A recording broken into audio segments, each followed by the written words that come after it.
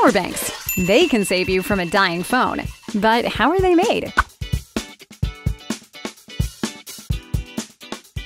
The first step is attaching the terminals to the positive and negative ends of a lithium ion battery via high energy quick soldering. Lithium holds a lot of energy in its atomic bonds, meaning they can store more energy and weigh less than other types of rechargeable batteries.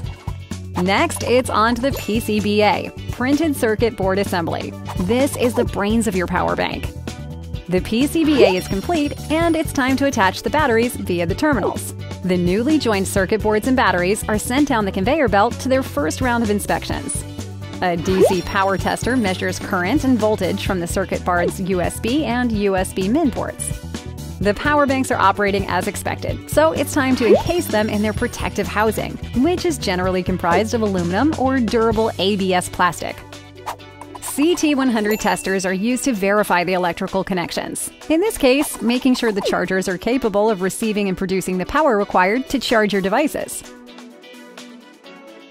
For the burn-in test, hundreds of power banks are taken from the assembly line and charged for hours on end. If they hold up without malfunction, they're ready for the next phase. Screen print, pad print, or laser engraving can all be used to brand these banks with your name and logo, transforming them from a useful tool to a certified promotional product. The power banks are given one more visual inspection, packaged, boxed, and shipped all over the world.